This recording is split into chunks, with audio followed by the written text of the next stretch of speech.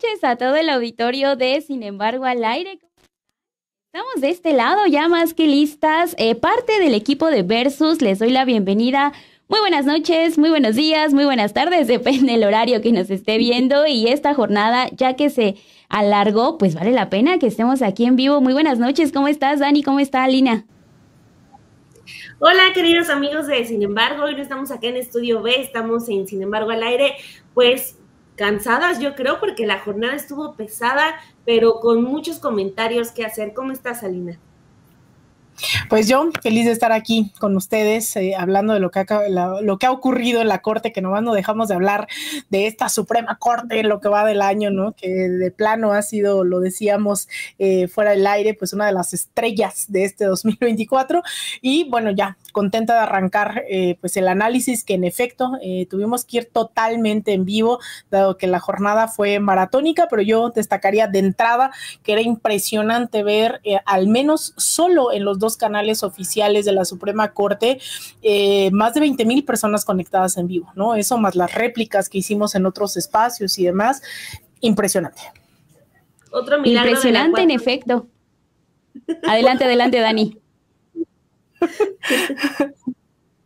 Sí, impresionante todo este fenómeno que vimos porque fue eh, sorprendente la discusión, todo lo que se estaba eh, llevando a cabo dentro de la Suprema Corte de Justicia de la Nación. Posteriormente también este eh, segundo punto que vimos ya cuando vuelven a arrancar casi a las 5 de la tarde esta sesión. Entonces vamos a entrarle al análisis de qué fue lo que vivimos en este día que va a pasar también para la historia, como todo este tema con los cambios al Poder Judicial, esta implementación que ya nada la detiene, ahora sí, la reforma al Poder Judicial va y seguramente la oposición va a llegar a los organismos internacionales. Ya lo han empezado a anunciar por parte de los trabajadores del Poder Judicial, pero al menos aquí en México la reforma está en la Constitución y se tiene que acatar lo que dice esta nueva legislación y vamos a entrarle a esta a este análisis. En un ratito más va a estar aquí con nosotras Meme Yamel. Usted sabe que también ella tiene su transmisión, entonces en lo que termina ella viene en un ratito aquí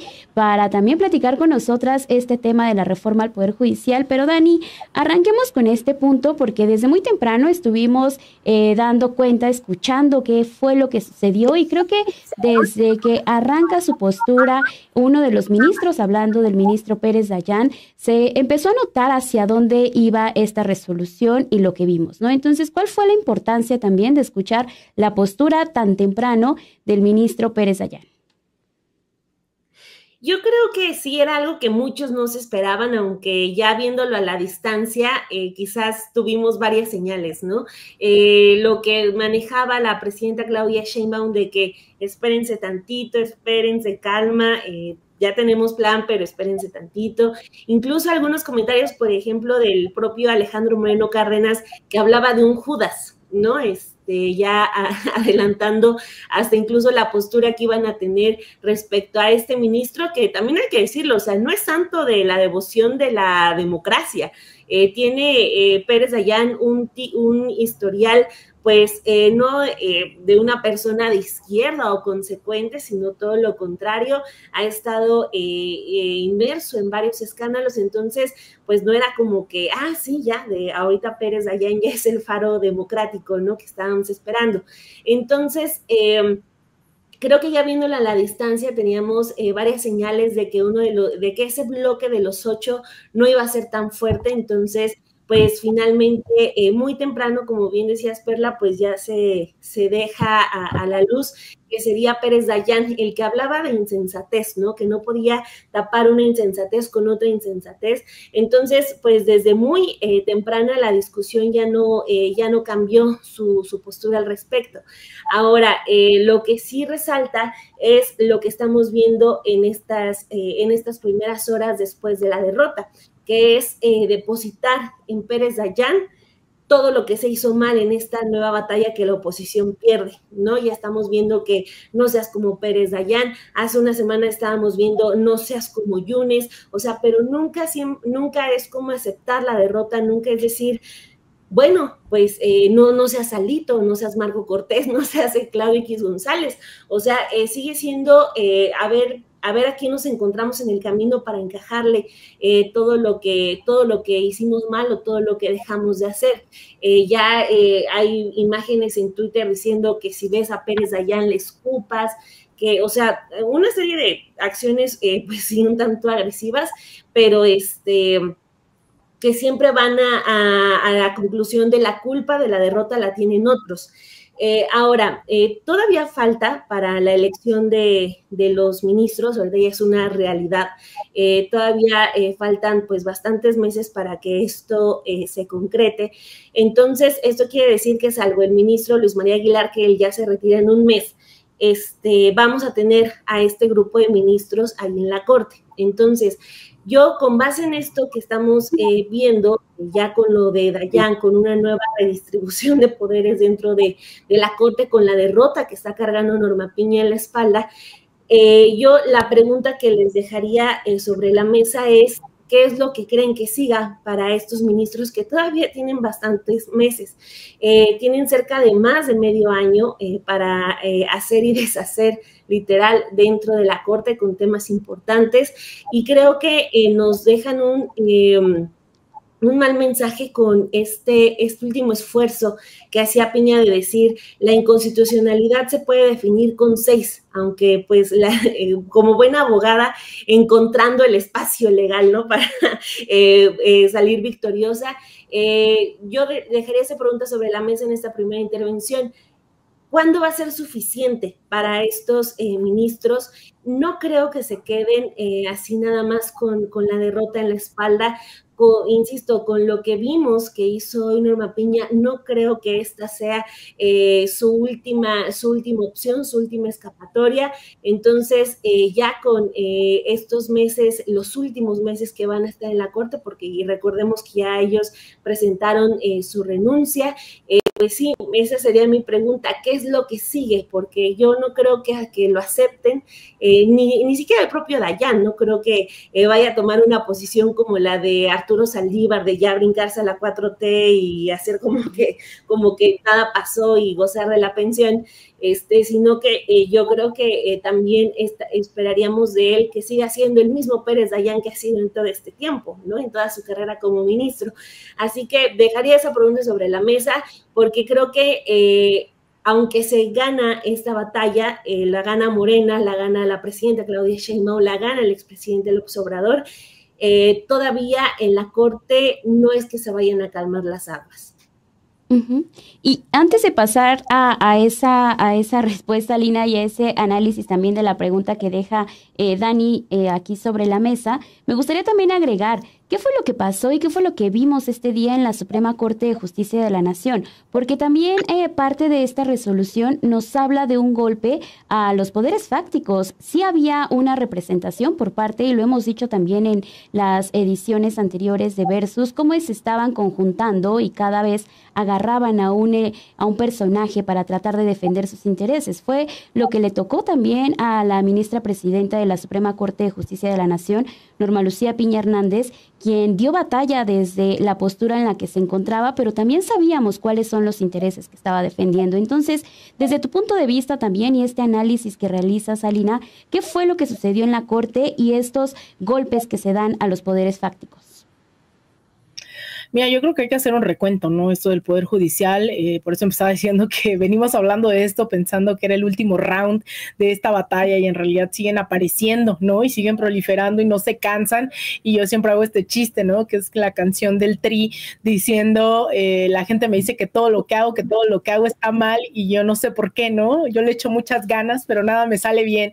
Y yo creo que ese ha sido el recuento de la Suprema Corte de Justicia durante los últimos meses, en donde han estirado y estirado y estirado la liga y que va ligado a lo que pone sobre la mesa Dani, que yo sí creo que hoy hay una cierta ruptura, ¿no? Que a lo mejor para algunos no será esa ruptura definitiva, pero yo sí creo que esa liga la han estirado a tal grado de tratar de declarar inconstitucional la constitución, con un montón de artimañas leguleyas diciendo que esto se trataba de una ley secundaria y entonces tratar de rebajar la constitución a una ley secundaria federal, pero es que tal y tal yo creo que hoy lo vimos todo, ¿no? Ya habíamos visto eh, pues amparos, habíamos visto eh, que detenían las reformas.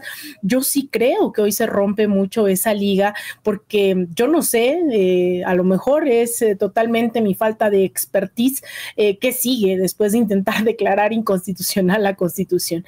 Y eso lo vimos durante muchas horas, fue ese debate, yo creo que el único consenso que hubo sobre la mesa durante todos esos, o sea, horas, ¿no?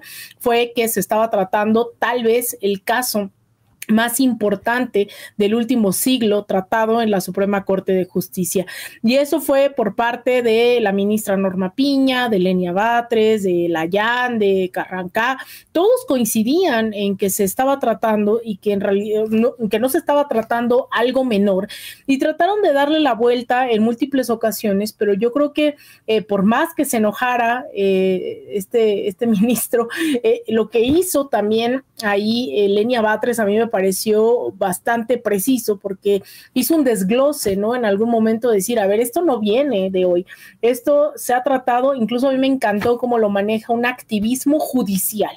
¿no? El poder judicial al servicio de unos cuantos durante décadas, donde el argumento constante, decía ella, fue que no se podía anular la constitución. Y hace un recuento de los ejemplos en los cuales el ZLN trata de poner sobre la mesa la validez o no de los acuerdos de San Andrés, en donde eh, durante Morena, que todavía no era partido con la reforma energética, las reformas estructurales, bueno, pone un montón de ejemplos diciendo que el común denominador era no se podía anular la constitución. Sin embargo, pasa al sexenio del expresidente Andrés Manuel López Obrador y entonces se anulan cerca de 400, 400 reformas constitucionales, se incumple el tema del tope salarial, se, eh, se tolera el nepotismo, dice ella, e incluso se llega a ordenar, la, no lo dice así, ¿no? Pero es la despublicación del diario oficial de la federación de esta ley eh, judicial. Y luego dice esto de que la constitución no puede ser considerada una ley federal, pero sobre todo que no se ha reformado el artículo 39, donde el pueblo es capaz de ser constituyente y modificar las leyes, modificar la constitución de acuerdo a sus necesidades ella lo plantea en términos de la degradación de la soberanía popular. Entonces ahí vimos, ¿no? Como este eh, ministro lo que hace es decir como no, no se trata de mí y entonces todo el mundo empieza a decir no hay que confundir argumentos y a mí me parecía eh, fenomenal porque estaba yo viendo en redes sociales, estaba viendo eh, en, los portales la interpretación en tiempo real de un lenguaje que se da también eh, de acuerdo a esta autonomización del personal, en este caso judicial, en donde a pesar de la tecnificación de los conceptos del debate, todos estábamos dándole seguimiento, ¿no? Y yo creo que también por eso fue tan didáctico que alguien como Lenia Batres también aterrizara en un montón de ejemplos a lo que se estaba eh, refiriendo. Entonces, ¿qué vimos hoy? Pues eso, yo creo que la reiteración, la confirmación por enésima vez de a quién está sirviendo el Poder Judicial, de eh, incluso eh, decir esto, insisto mucho, que se trató de declarar inconstitucional la Constitución y hacer una supremacía judicial, que también es algo que, que dijo Lenia Batres, por sobre la supremacía constitucional.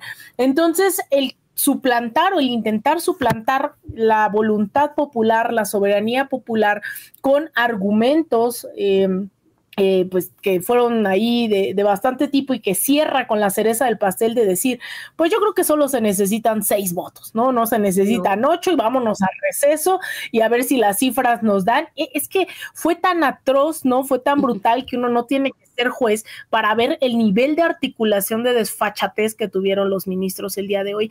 Entonces yo sí creo que se rompe en parte esa liga que vinieron estirando durante meses y meses y meses y que aún con eh, mucho del facherío allá fuera de la Suprema Corte, pues la presión eh, de esas, insisto, yo no quiero minimizar las más de 20 mil personas que estaban viendo en tiempo real solo en los canales oficiales de la Suprema Corte, más el rol de los de las redes sociales que puso esa presión y los desenmascaró, pues por mucho que regresaron de un receso que se postergó un poco más de lo acordado yo creo que ahí tuvieron que hacer la valoración de lo que se estaban jugando. No estaban debatiendo ante la eh, nulidad del espectador, ¿no? Sino que lo estábamos viendo miles de mexicanos y mexicanas que estuvimos ejerciendo presión solo por estar haciendo público un debate que siempre fue público, pero que nadie le prestaba atención. Entonces yo creo que hasta esos momentos llegamos y que la presión popular jugó un rol fundamental.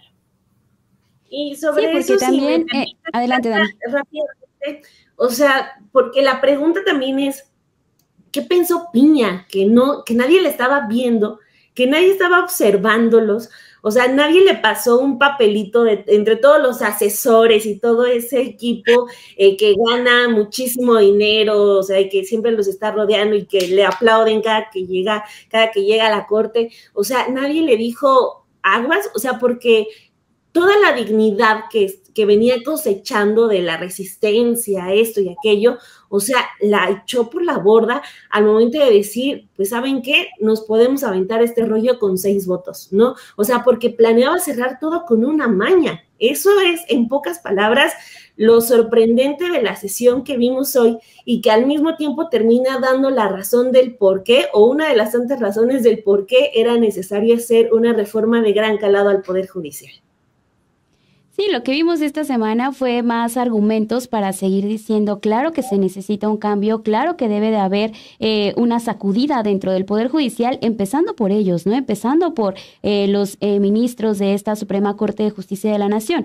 Algo que destaco y que también ustedes ya han mencionado es esta manera que ellos trataban incluso de meter este as bajo la manga que traía Norma Lucía Piña Hernández, la ministra presidenta, de decir, bueno, entonces, ¿qué les parece si con seis personas solamente podemos eh, generar esta discusión?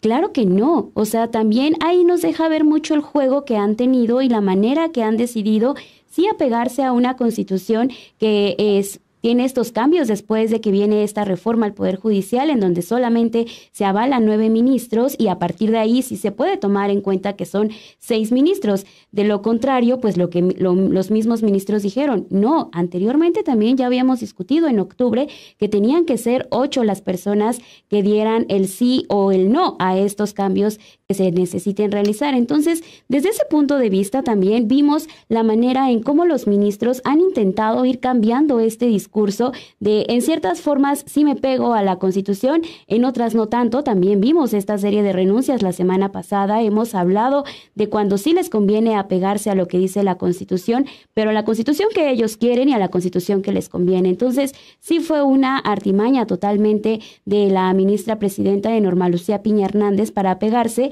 y también eh, la sacudida que, eh, que les dio Lenia Batres al momento de tratar de explicar y dejarlos en un punto más exhibidos. Creo que eh, muchas personas también han criticado la postura que toma eh, la ministra, eh, la ministra Batres para seguir cuestionando y seguir respondiendo a lo que dicen los ministros, porque sí, en ciertos eh, momentos sí fue muy técnica esta discusión, incluso entre nosotras, ¿no? En la mañana que Dani y yo seguíamos esta transmisión, a ver, entendí esto, si iba por ahí, tratándonos de complementar, porque incluso eh, tratábamos de entender, ¿no? ¿Qué es lo que estaba pasando? Y si no, a ver, pregúntale a otra persona con la intención también de confirmarles a ustedes qué es lo que estaba pasando. No es que inmediatamente se fuera a discutir en la Suprema Corte de Justicia de la Nación el fondo y esta forma que tanto se dijo para ver si la Suprema Corte de Justicia iba a legislar. Para llegar a ese punto se tuvo que pasar por otros caminos y para llegar incluso a este día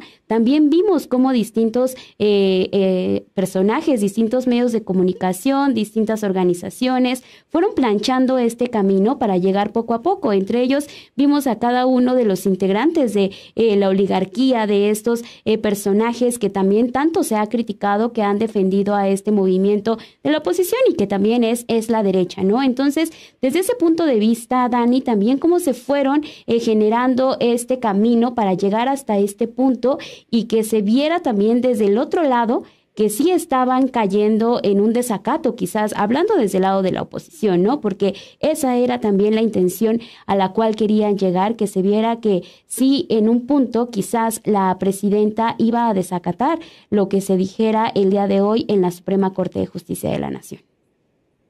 Pues como lo decíamos, sin duda una derrota más a la, a la larga lista de derrotas, ¿no? O sea, eh, creo que esta, eh, como lo veníamos diciendo en muchos eh, de los versos que hemos, que, que hemos realizado, la oposición funciona a partir de la política del chispazo, ¿no? O sea, no es que planeen las cosas que van a hacer, sino que en el camino lo que les funciona, a eso se agarran, ¿no? Ese es su ancla. El mejor ejemplo que tenemos es Xochitl Gálvez, ¿no? O sea, no tenían una, un buen candidato, candidata presidencial, pero Xochitl hace el chiste de la puerta y la ven chistosa y la ven este, con el huipil, vámonos, de aquí somos. Entonces hablaban de que Xochitl era como la Virgen de Guadalupe y el milagro o el fenómeno, como quieran llamarle, pero bueno, política del chispazo no funcionó y así podemos eh, eh, ejemplificar con varios eh, otros casos que han rodeado a la oposición posición.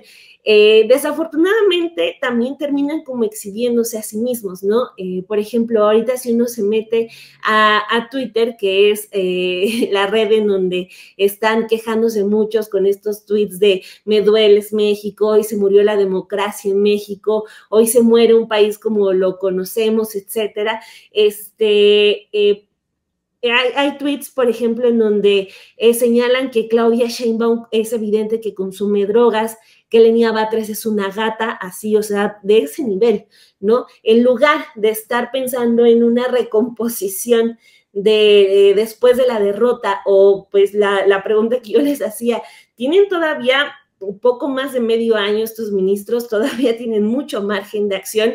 No, o sea, se van a decir que, que Lenia Batres es una gata, que la gente está festejando y es muy tonta y no sabe que está festejando algo que le va a hacer, eh, que, le va a hacer eh, mal en el corto y en el mediano plazo. Entonces, o sea, echándole la culpa a Pérez Dayan, que es con lo que empezaba mi participación esta, tarde, esta, esta noche.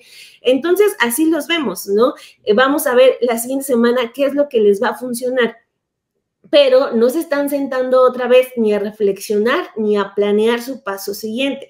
Si Piña hace algo que les eh, caiga bien en los siguientes días, van a seguir utilizándola, pero si no, también eh, lo que han adelantado muchísimos columnistas es a Piña eh, le, espera un futuro como el de Xochitl, ¿no? El del olvido, el del maltrato, el del dejarla desamparada.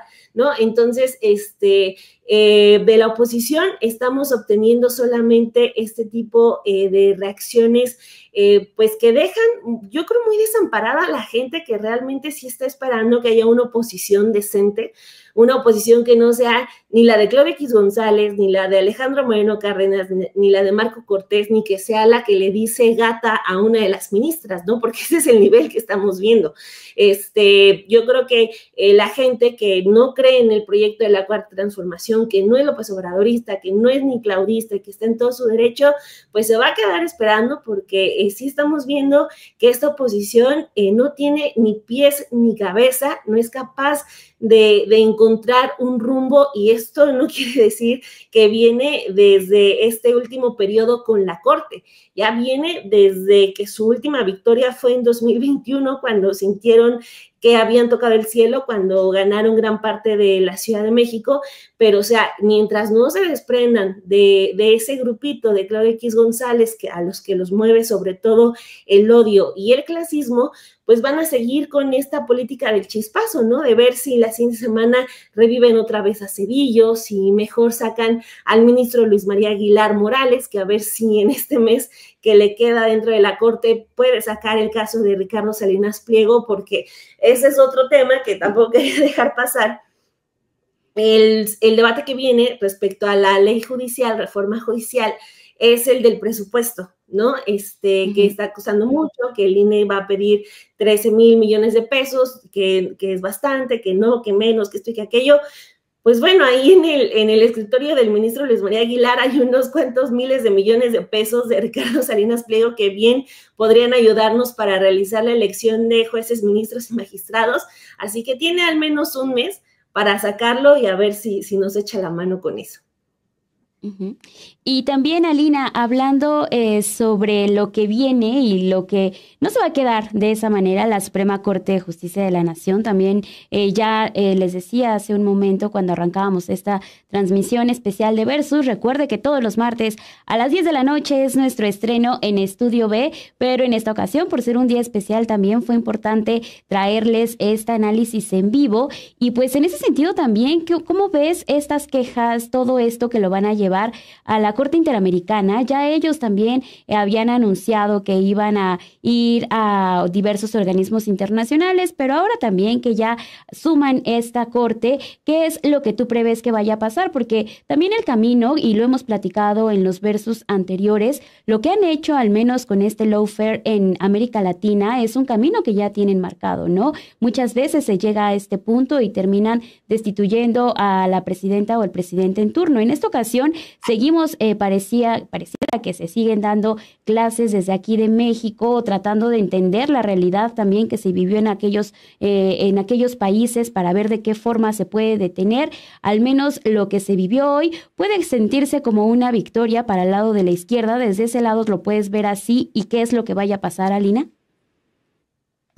Pues mira, eh, ya habíamos hablado un poco también sobre el rol de este sistema interamericano de justicia, en donde es inevitable tratar de discernir, ¿no? Las instancias que hoy están al alcance, sea de la ciudadanía, de grupos de poder, etcétera, porque hemos visto de manera recurrente, recordemos que hoy eh, lo que sí se avala es que los partidos políticos pueden solicitar directamente este tipo de, de, de mm, suspensiones, ¿no? Intervención y nadie les puede decir nada porque los ministros están de acuerdo y son esos mismos partidos políticos los que hemos visto que han echado mano también de estos mismos organismos internacionales, específicamente de la OEA, donde ya deben de tener una sala de espera adecuada porque van a cada rato, ¿no? A quejarse de que la dictadura en México ahora sí, por fin, por fin, eh, ya viene, ¿no? Ya pasaron seis años, pero ahora sí ya va a llegar, sí, una, sí, exacto, en fila rápida, eh, no como las otras oposiciones que tienen que esperar. Bueno, no, aquí ya eh, directamente Almagro les recibe. Entonces, bueno, ahí ha habido una colusión directa, ¿no? De estos organismos como, como la OEA, que eh, pues están prestos, ¿no? Para intervenir de manera total y absolutamente política, de acuerdo a los intereses de Estados Unidos en la región y que ha sido exclusivamente la presión social en casos como Honduras, ¿no? Las protestas en Guatemala, los que han orientado otras decisiones que tal vez no esperábamos de un Almagro a pronunciarse en torno a ello. En el caso de la Comisión Interamericana, pues también hemos visto que jugó un rol fundamental, ¿no? En varios casos de, de la justicia en México y que eh, también participó en el caso eh, Ayotzinapa. Entonces, eh, sí no pretendo juzgar, ¿no? De, del todo, ¿no? Cómo funciona esta comisión interamericana, pero también recordemos, pues, eh, y yo lo he puesto sobre la mesa, específicamente en el caso de García Luna, ¿no? De que nuestra soberanía, nuestras decisiones máximas pasen por tribunales, en este caso, ¿no? Que, que, se encuentran con sede en Washington, pues no, no me parece lo más indicado, aunque también, insisto, ¿no? Hay otros episodios de la vida de este país que nos han hecho voltear, ¿no? Ante pues esa indignación, ante ese bloqueo institucional, específicamente en el caso Ayotzinapa, donde había todas las puertas cerradas, había que buscar otras en donde sí se pudiera escuchar el caso. Entonces, bueno, eso es un uso faccioso, ¿no? Que están en estos pataleos constantes los jueces, los partidos políticos, tratando de invalidar una, ya no reforma, sino una ley que desde hace mucho se publicó y que llegaron al extremo, creíamos que era el extremo, ¿no? Cuando decían que había que despublicarla del diario oficial de la federación y dijeron, pues no, vamos por más, ¿no? Y vamos a declarar inconstitucional la constitución. Entonces, eh, ahí es en donde vemos que están dispuestos a hacer uso de todo lo que tengan a su alcance y ahí es donde sí hemos puesto los otros ejemplos de lo que sí ha ocurrido en otros países, que no es el caso de México y lo pongo luego, luego, ¿no? Sobre la mesa por el gran apoyo, la legitimidad eh, de este gobierno, de la propuesta, de que estuvo en la prácticamente en la campaña presidencial también de Claudia Sheinbaum, que era algo que se sabía, ¿no? Que se puso después de haber ido a las urnas. Entonces, eso impide eh, que haya un intento de incluso eso, la presión hoy lleva a conclusiones que, bueno, después de ese receso era una locura escuchar, después de haber visto esas discusiones donde estaban dispuestos a llevarlo, ¿no? Al, última, a las últimas consecuencias y que no se lo esperaban justo por la posición de un Pérez Dayan, en donde dice esto de, por más que me trate de convencer a mí mismo de lo contrario, resolver en el sentido que propone la propuesta sería, lo digo con todo respeto y exclusivamente en el foro de mi propia persona, responder a una insensatez que va de irresponsablemente al texto supremo con otra insensatez, ¿no? Es algo que creo que desmoronó, vieron la vida pasar ante sus ojos estos jueces que estaban llevándolo al extremo.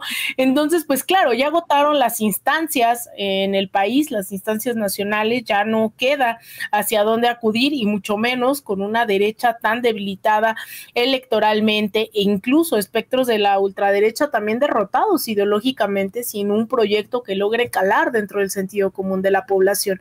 Entonces yo sí creo que pueden seguir eh, pataleando, van a seguir haciendo las alianzas que independientemente de este tema judicial han estado haciendo durante todos estos años, incluso no juntándose con Vox en España, eh, haciendo alianzas, invitando a ley, ¿no? Lili Telles invitaba a ley al Congreso, es, decir, ellos tienen claridad en que por ahí van, ¿no? Sus afinidades, sus intenciones, o cuando le dieron el golpe a Pedro Castillo, eh, América Rangel y Lili Telles decían que los peruanos estaban haciendo su sueño realidad, ¿no? De meter preso al presidente. Entonces, claro, hay, un montón de posibilidades en el abanico de la derecha, golpista, eh, en contra de la soberanía nacional, entreguista, que todavía pueden eh, echar mano, ¿no? No hay que desestimar y yo siempre he insistido mucho en que no hay que bajar la guardia porque las disputas van a ser permanentes, solo basta ver el arsenal mediático del que echaron mano eh, durante todos estos días, ¿no? Los titulares eran atroces, Salinas Pliego lo estaba dando todo, ¿no? Por Salinas Pliego no paraba, ¿no? En titulares escandalosos eh, y demás, pero también, insisto, eh, el que la gente, o incluso ahorita, ¿no? Ver a, más de 10 mil personas conectadas, a pesar de que todo el día se ha discutido esto. Em, y aprovecho para mandar saludos, que veo que toda la familia de Teresa Rodríguez de la Vega nos está viendo en vivo, y a todos los del chat me parece que es parte de esa eh, presión popular que se está haciendo hoy en torno a que la vida pública sea cada vez más pública. Sí, para eso también eh, creo que en los versos pasados se ha hablado, ¿no? De este poder que hay en la gente, pero el poder de la gente también nos estaba diciendo aquí en el chat que ya Meme venía para acá y en efecto ya está Meme aquí con nosotras, así que le damos la bienvenida. Muchísimas gracias Meme por haberte conectado después de, de tu programa. Muy buenas noches y pues adelante, queremos escucharte con este análisis. Así que, ¿cuál es la lectura, tu lectura que das a lo que sucedió este día, Meme? ¿Nos escuchas?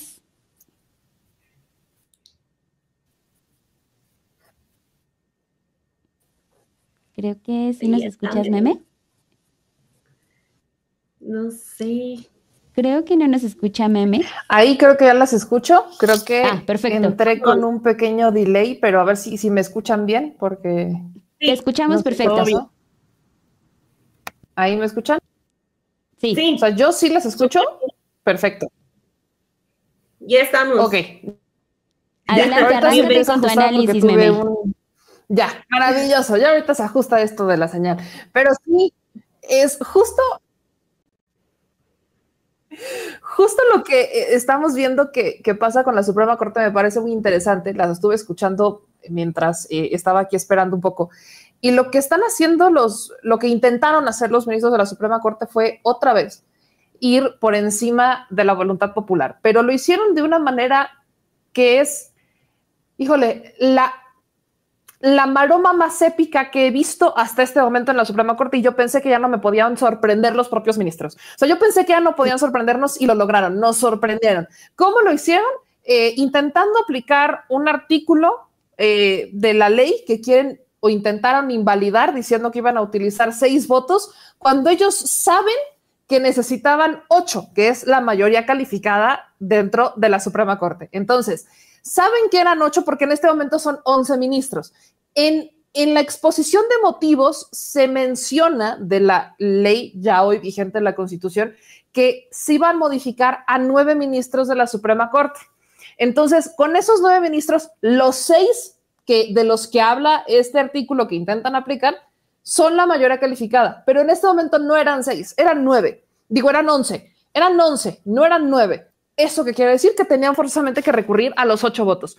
Cuando ven que Pérez Dayan se baja del club de los ocho votos, es cuando empiezan a entrar en crisis. Hay quienes dicen que era algo que sabían que podía pasar. Yo no estoy tan segura que, que supieran el sentido del voto de Pérez Dayan, porque se ve muy desesperado e incluso hasta improvisado cuando sacan los seis votos, porque estaban en un inicio hablando de los ocho votos, sino que sí que los ocho con los ocho, y en eso, cuando empiezan a escuchar a Pérez Dayán, que aunque no está de acuerdo con la ley, tampoco va a cambiar el sentido de sus posicionamientos pasados, presentes y futuros, entonces la cara de, de la ministra Piña cambia en un sentido de decir, ah, caray, bueno, que eran ocho, ah, no, son seis, somos seis. No, no, no. Eso fue yo vaya, escuché muchas cosas bizarras en esta sesión, pero creo que esa fue la que más me sorprende, porque ya era la estrategia desesperada y llegó hasta la improvisación. Pero además, ese momento nos demostró que el pueblo tiene razón y que esto nunca fue una decisión o nunca fue un debate jurídico ni legal, sino político. Los ministros de la Suprema Corte se quitaron la toga y decidieron hacer política. Esto es muy delicado. Ellos representan un poder es el poder judicial. No es un poder que haga reformas, no es un poder que le toque este, redactar reformas, no, no, no, es un poder que se ampara en la Constitución para que las leyes y las normas y los actos de autoridad sean apegados a la Constitución, para que si en el Ejecutivo toman una decisión, sea apegada a la Constitución, para que si en el legislativo modifican la Constitución o modifican una ley, sea apegada a la Constitución. Entonces, hoy decidieron quitarse la toalla y convertirse en actores políticos que no lo son para reformar la Constitución, que no es su poder. Y un ministro entró en razón, se van a este receso y cuando regresan del receso ya vemos que no solo es Pérez Dayan, sino que había otros ministros que dijeron no, o sea, no, no puedo decir que somos, que con seis sale, porque en este momento somos once. Y lo peor es que escuchabas o leías los comentarios de abogados que defienden o jueces que defienden al Poder Judicial, justificar es que está en la Constitución. Y dices, claro, pero en esa misma Constitución que defienden solamente un artículo, en esa misma dice que los jueces, ministros y magistrados se van a elección. En esa misma dice que se tienen que apegar a la austeridad. En esa misma dice que se tienen que bajar el sueldo. En pueden amparar en contra de la Constitución y que no proceden las impugnaciones o las acciones de inconstitucional en contra de la Constitución. No pueden hacer como que sí les gusta un artículo, pero los demás Creo que estamos teniendo un problema con el audio de eh, Meme Yamel, pero eh, básicamente, pues sí, ¿no? Es parte también de lo que hemos estado platicando hasta este punto, que es también eh, cómo intentaron ocho ministros, al menos eh, lo que se tenía también eh, después de que se da la procedencia para que sí se presente este proyecto que se discute en la Suprema Corte de Justicia de la Nación este martes 5 de noviembre, pues que quede esta decisión que se tomara por parte de estos ministros por encima de, del voto popular, de la gente que salió a las urnas y también de lo que se ha defendido. Entonces, en ese sentido, Dani, también creo que al menos aquí en Versus eh, se ha hablado de cuáles son las obligaciones que hay por parte también de la ciudadanía, ¿no? No nada más es salir, votar, sino también continuar viendo, vigilando qué es lo que pasa, que se llegue incluso a este tipo de sesiones, ¿no?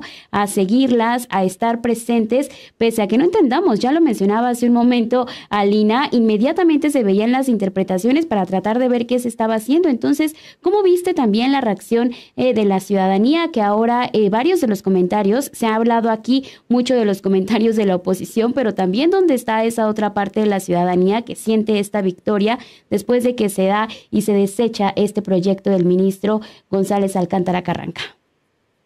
Sí, solo eh, que es desafortunado que justo falló el, el internet de meme en ese momento porque estaba llegando a un punto muy importante que es este cómo también se activó alrededor de eh, cuando Piña manda al famoso receso diciendo que sí se puede hacer eh, con seis votos que no necesitaban ocho, cómo se activó toda una red de abogados diciendo sí, sí, sí se puede, porque lo acaban de aprobar en la reforma. O sea, estaban recurriendo a la reforma que querían declarar inconstitucional para decir que sí se podía. Entonces ya mágicamente era la gran reforma y estaban diciendo, ven Morena por aprobar las cosas tan rápido, por ni fijarse, cuando estaban ocultando ese gran dato de que eh, se requieren esos seis votos cuando ya el cuerpo de ministros es menor, no cuando hay 11 ministros como lo que teníamos ahorita.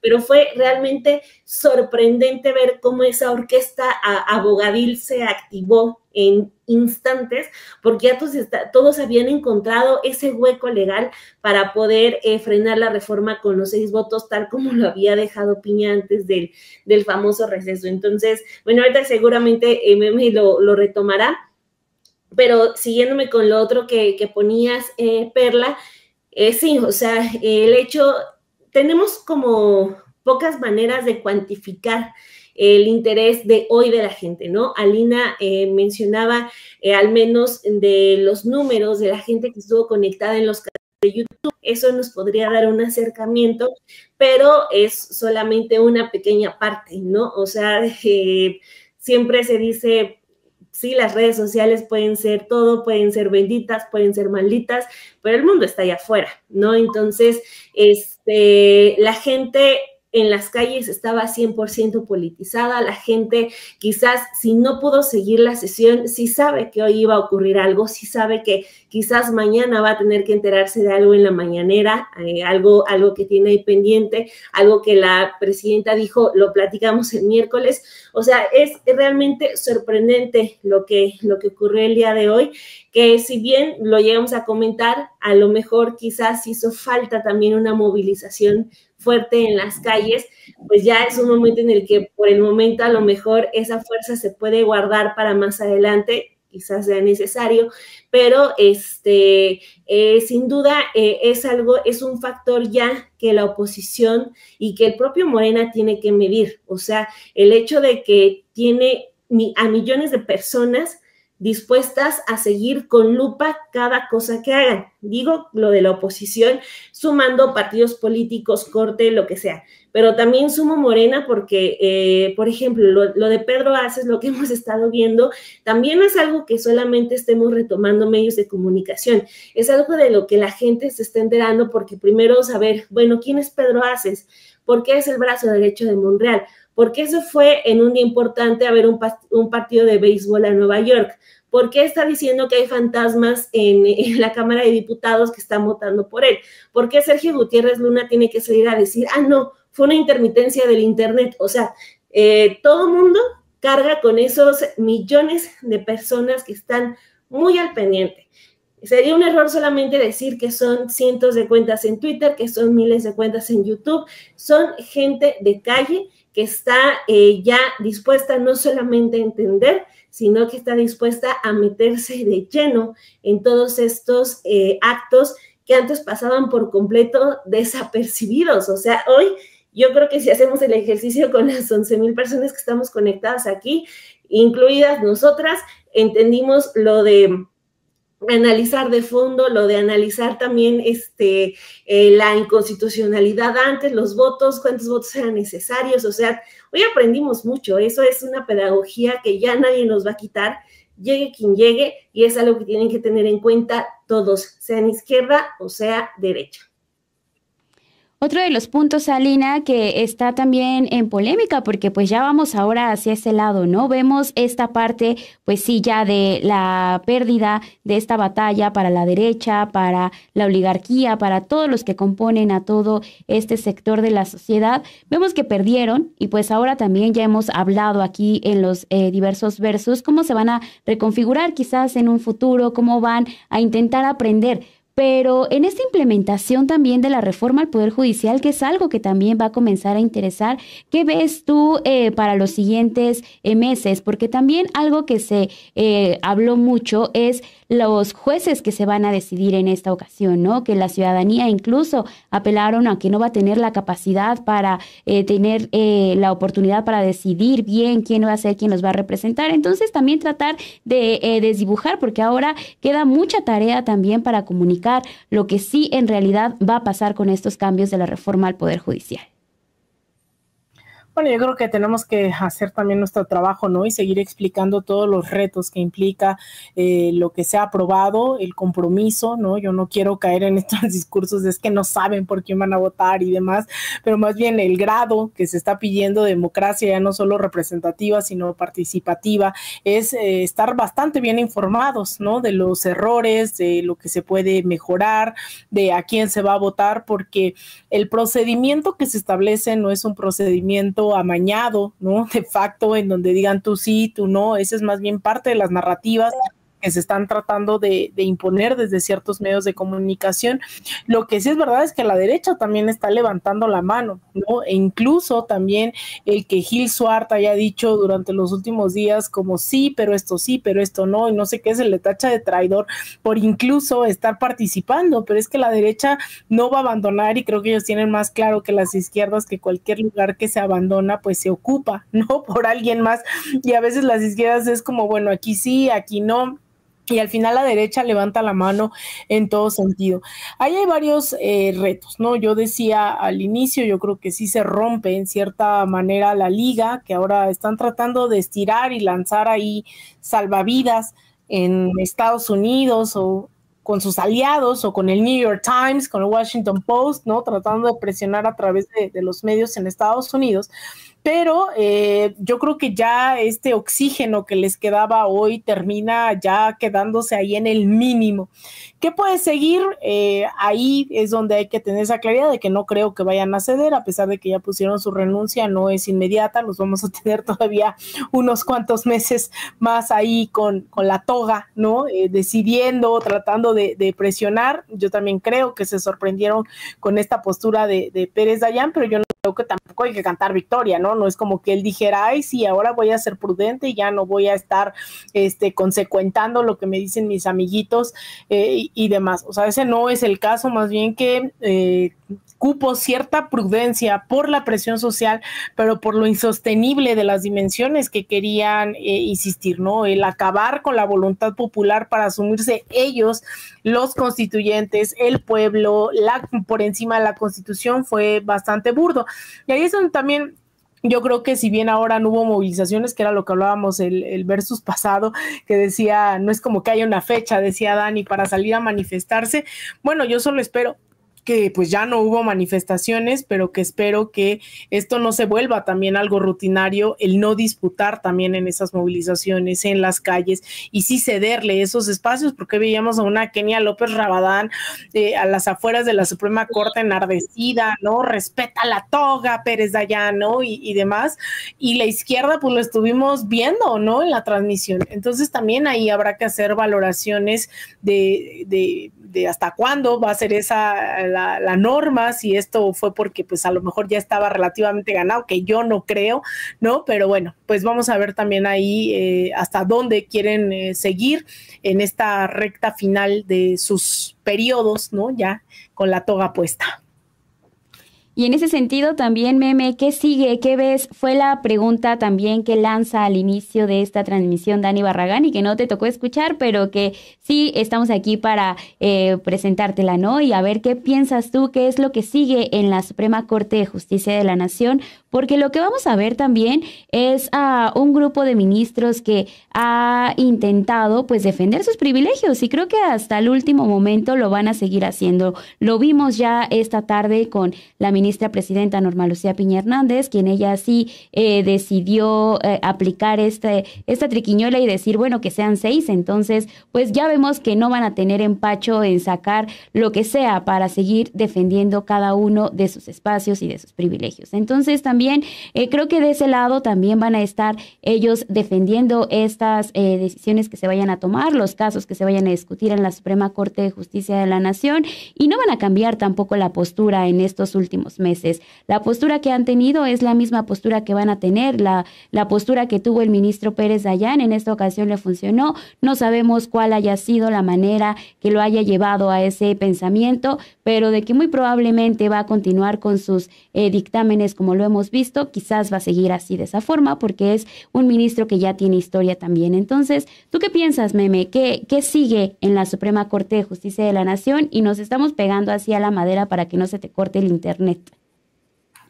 No, yo estoy pegando hacia cierto personaje empresarial que decide que a esta hora tiene que fallar el Internet. No diremos nombres, pero bueno, entrando justo en ese debate, eh, yo quiero rescatar antes de entrar a responder esa pregunta, quiero mencionar en particular dos cosas de las muchas bizarras que escuché en esta sesión.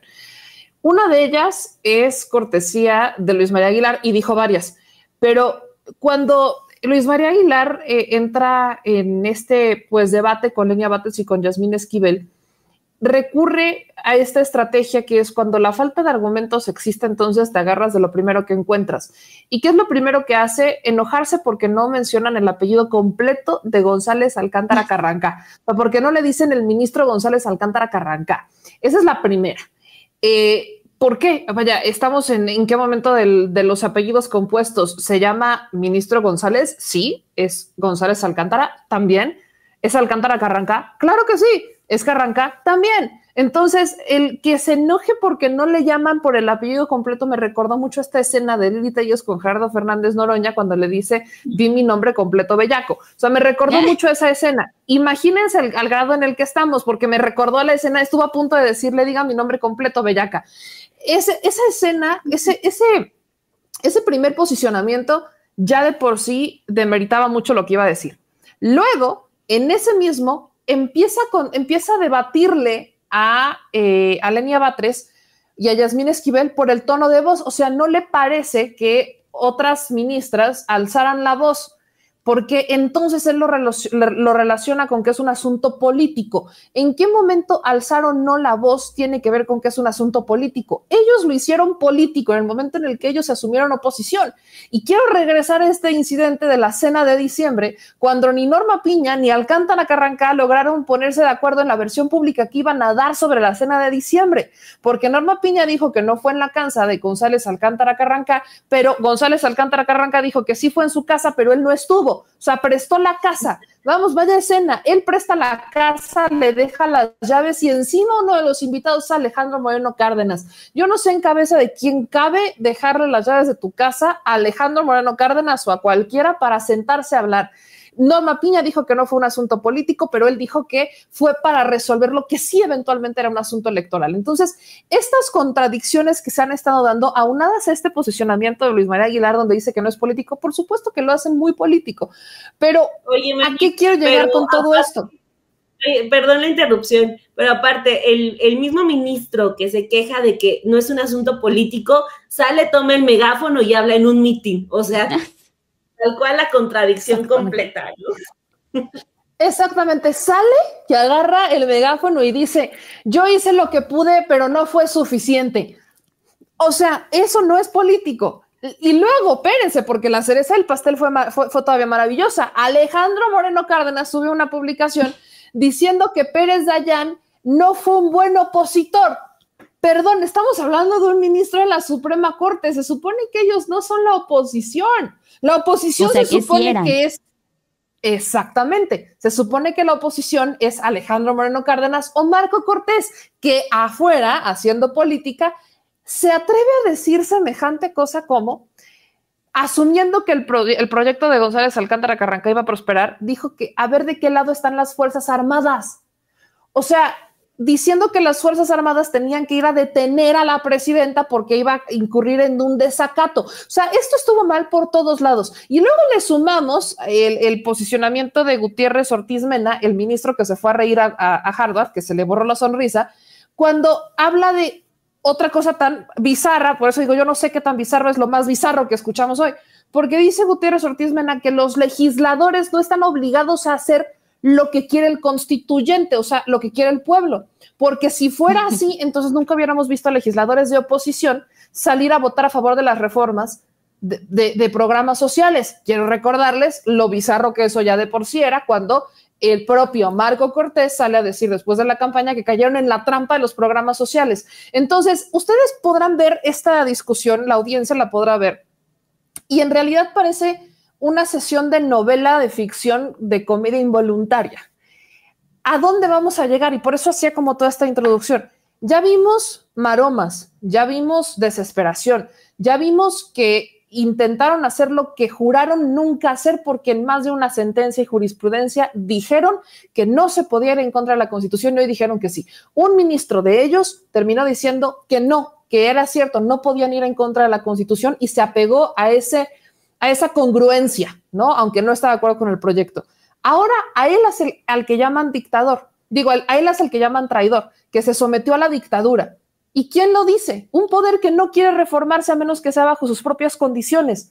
Un poder que no quiere elecciones, un poder que sí parece una dictadura y es el poder judicial, no el ejecutivo. Entonces, creo que pese a que esta batalla parece la última, no sé si realmente sea la última porque todavía están los trabajadores del Poder Judicial diciendo que ellos, eh, aunque, se aunque los traicionaron aunque este fue un duro golpe, que entonces no se van a dejar y salen a hablar de golpes de Estado. Yo me encantaría que alguien les explicara lo que es un golpe de Estado, porque aparentemente no lo saben y salen a decir que son, que viene un, que viene un golpe de Estado, que lo que ocurrió en esa sesión fue un golpe de Estado y que ellos en cualquier momento los van a correr. Bueno, que no se han enterado de cómo viene la reforma. O sea, salen a decir que los ministros hoy van a pagar con sus cabezas lo que acaban de hacer. Bueno, es que ministros, jueces y magistrados se van a elección en 2025 y los otros en 2027. No pueden decir que una parte de la, de la ley les gusta y otra no. Eso es hacer política y aparte muy mala. Entonces, yo no creo que estemos lejos de ver cómo van a intentar ir en contra ya de la aplicación ¿no? Ya, ya en contra de la reforma, hoy ley vigente ya no pueden hacer mucho, pero sí creo que van a intentar boicotear la aplicación, van a intentar desesperadamente boicotearla. Creo que hay que tener muy sobre la mesa el rol que va a jugar estas, cada una de estas comisiones que van a revisar eh, si cumplen o no con los requisitos los aspirantes, particularmente la de la Suprema Corte, porque esa es la mesa de, de todas, la menos equilibrada, entendiendo que quienes están ahí están abiertamente en contra de la, de la aplicación de la reforma y que muchos han, eh, son de los que justo estaban diciendo que sí quieren que se aplicara lo de los seis votos cuando todavía son once ministros.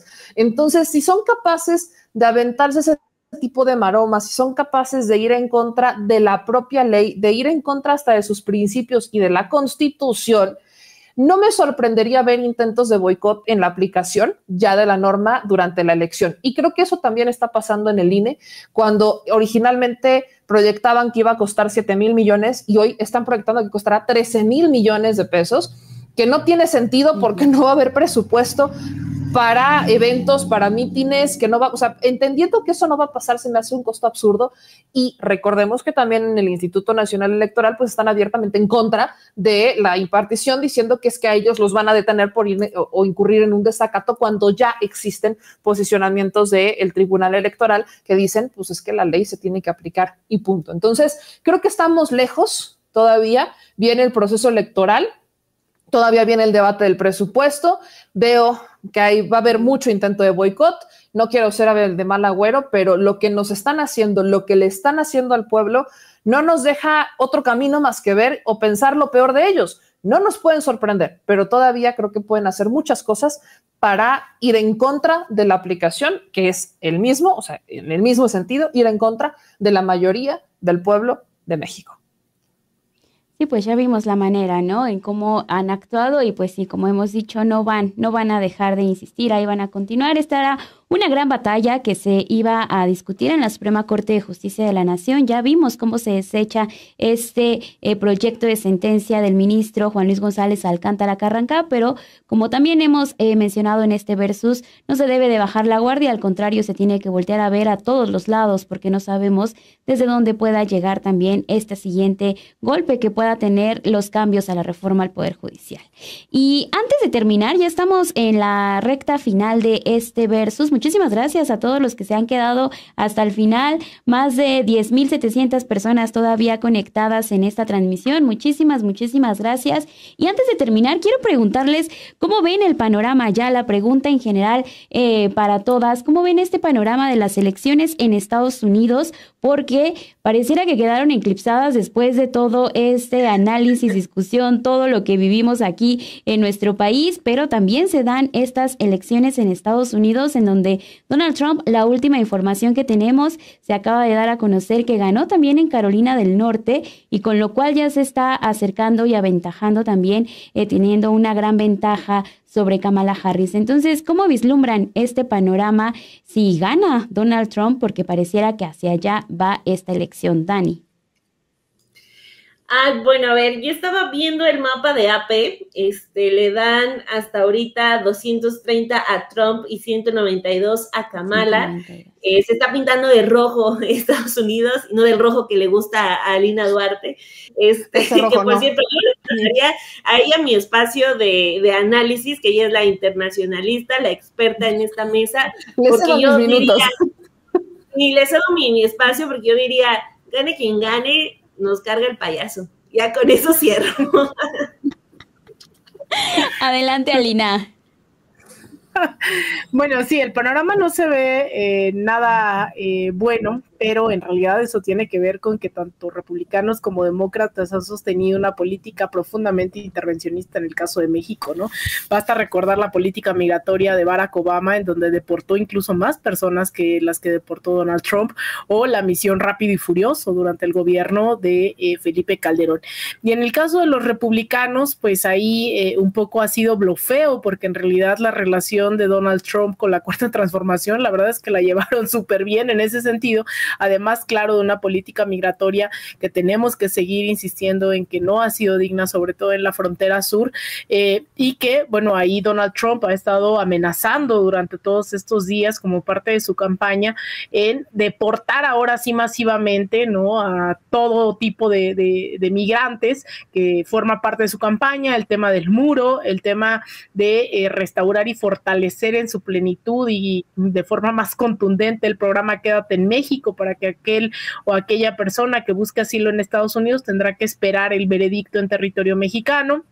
Y hemos visto también recientemente, hace unos, unas 48 horas máximo, que también habló sobre el tema de incrementar aranceles. Dice, yo no conozco presidenta, pero pues ahí les va, ¿no? Si, si no me hacen caso, voy a incrementar, lo cual es un poco un balazo en el pie, ¿no? Porque los afectados serían los propios capitales estadounidenses, transnacionales y el pueblo de Estados Unidos. Entonces es un poco más ese eh, blofeo y que también, bueno, cerrar la frontera siendo el principal socio comercial actualmente de Estados Unidos y con un crecimiento de los BRICS, con una guerra que sostienen contra China y Rusia, definitivamente no es eh, la opción. Pero yo pondría para cerrar el centro en algo que estuve insistiendo eh, mucho durante estos eh, versus, programas, análisis, que ya veremos el día de mañana cómo resulta, pero hasta ahora, por ejemplo, Jill Stein del Partido Verde tiene casi medio millón de votos, ¿no? A pesar del boicot, a pesar de la invisibilización al 100% de los medios de comunicación en Estados Unidos, no me parece menor, a lo mejor es menos de un punto porcentual, eh, pero eso habla de que sí se está traduciendo además la gente está eh, volteando a ver yo haré el ejercicio, lo, lo, prometía hace rato en, el programa de Maíz y Maten de Raíz con Daniela Pastrana, de ver si realmente se incrementaron esos votos dadas las protestas y eso comparado con otras elecciones. Y también voy a repetir un chiste que hice hace rato, pues yo voy a estar muy lista, queridas compañeras, para exigir acta por acta, voto por voto de Estados Unidos, así como estos desgraciados nos exigen en el resto del mundo. Bueno, pues yo estoy listísima y se está pintando de rojo el mapa y no del rojo que a mí me gusta. Meme. Ese rojo que tanto nos gusta. Yo por un momento pensé que ya Estados Unidos iba a ser socialista comunista y dije, no, ya me acordé que es Estados Unidos. Pero, pero justo algo que quiero rescatar lo que decía Lina, ¿no? Sobre el papel de Jill Stein me gusta, me gusta ver qué está pasando, me gusta ver que se está intentando romper ese bipartidismo en Estados Unidos y que hay una, hay una persona que lo quiere hacer, así como también están eh, dos latinas que buscaron también contender en un proyecto que sí está muchísimo más lejano, el partido, eh, ese sí le gusta, Lina, ese rojo sí le gusta, el partido por eh, socialismo y libertad, ese partido sí, ese, ya Lina fue a adoctrinar, ¿no es cierto? Dolia, no me creas. Pero justo, ese rojo sí gusta. Pero me gusta ver que sí hay ya estas manifestaciones quizás muy jóvenes, muy verdes, de eh, por intentar romper ya ese bipartidismo en Estados Unidos, porque al final gane Trump o gane Kamala, sabemos que van a hacer lo, o sea, van por lo mismo, pero con estrategias distintas, ¿no? En el caso de los republicanos son más frontales, yo diría hasta un poco más hipócritas o más, más bien cínicos, ¿no? Como más descarados, mientras que los, los demócratas son más hipócritones, lo digo con todo respeto, ¿verdad? Pero pues es que desde México no se ve distinto, ¿no? Es como más de yo no voy a hacer nada, yo te abrazo y te beso y qué padre y todo, pero toma, ahí te van tus deportes, ¿no? Entonces, eh, cuando volteas a ver que no tocan ni con el pétalo de una rosa a estas empresas que fabrican armas, que son responsables de parte parcialmente del tráfico de armas, cuando ves que ambos quieren financiar guerras distintas, pero al final guerras, cuando ves que ambos van por este tipo de de apoyos hacia Israel y entonces a Israel en el caso de Trump, ¿no? Decía su candidato a vicepresidente que en vez de que Israel esté bombardeando Gaza, mejor que vaya a bombardear China, ¿no? O en el caso de, de Kamala, pues esta insistencia por seguir apoyando a Israel con el genocidio en Gaza. Entonces, vemos que al menos de ese lado no se ve distinto, ninguno está abordando algo diferente o un, un, una, un algo distinto, por ejemplo, para nuestros paisanos, ¿no? En los casos demócratas, yo no sé cuántas veces he escuchado que ya van a regularizar a nuestros paisanos y bueno, aquí estamos. Y por mucho que ganara Kamala, parece que el Congreso, al menos el Senado, lo va a tener el, Partido Republicano. Entonces simplemente se quedará como una promesa vacía más, eh, solo por intentar ganar el, el voto de los latinos, que sí es un peso, pero que sigue siendo verde comparado con los cabilderos de otras eh, de otros intereses que tienen, pues al final la presión en Estados Unidos. Lo único que me da mucha confianza o me reconforta demasiado es que México hoy sí tiene una política ideológica distinta, sólida, que México hoy reconoce cuál es su poder y que reconoce que pues las amenazas de Estados Unidos, bien lo decía Lina, pues son un balazo para ellos, ¿no? Si Trump intenta imponer los aranceles, pues eventualmente va a salir más afectado él y ¿qué va a terminar haciendo? Terminar reculando. Lo mismo que hay, podrá decir muchas cosas en campaña, pero la implementación no es la misma. La mano de obra en Estados Unidos es latina, gran parte es migrante. Y es una mano de obra muy barata, muy mal pagada y en empresas muy inestables. Cuando hay una tragedia, ¿quiénes levantan? Los migrantes, son los que construyen.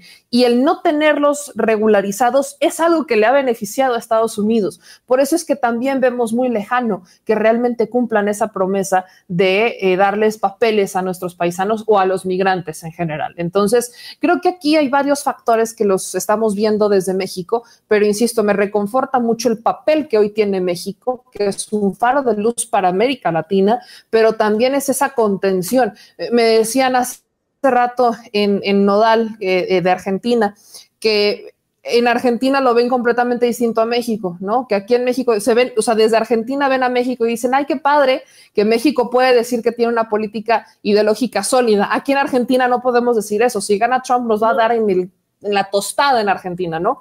Entonces, vemos cómo eh, América Latina sí juega un rol importante y lo que pasa en Estados Unidos sí afecta, pero depende quién esté al mando y depende cómo se lleve esa política, el qué tanto te afecta lo que pudieran hacer. Entonces yo creo que hoy México está en un momento completamente distinto y mucho más sólido a como estábamos en la primera elección de Donald Trump.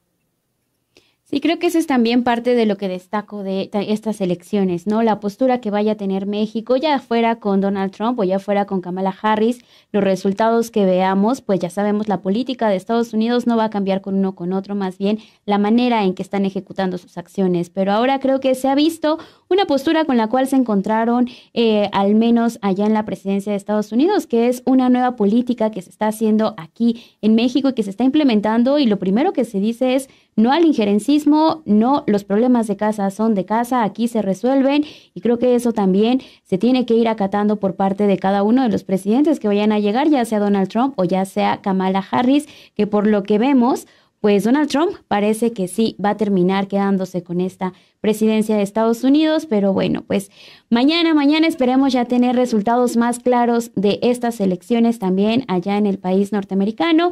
Y con eso terminamos este versus. Muchísimas gracias a todos los que se quedaron hasta el final. Muchas gracias a todo el equipo también de periodistas que aquí siguió con nosotros en esta transmisión, a Ana Méndez, a Luis, a Ilse.